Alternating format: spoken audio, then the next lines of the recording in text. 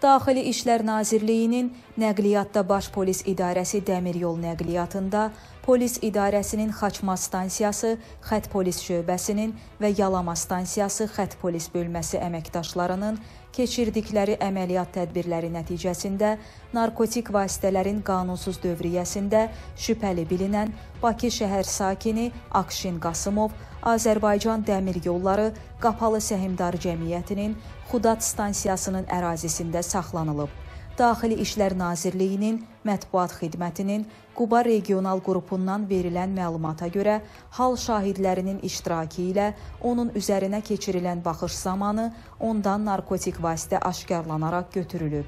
Akşin Qasımovun ətrafında aparılan əməliyyat tədbirləri ilə onun Xudat stansiyası ərazisində odlu silah gizlətdiyi də müəyyən edilib və həmin əraziyə keçirilən baxış zamanı dəmir yolu kənarında yerləşən yarım tikilidən bir ədəd Aksu markalı avtomat, bir ədəd daraq və 20 ədəd patron aşkar edilərək götürülüb.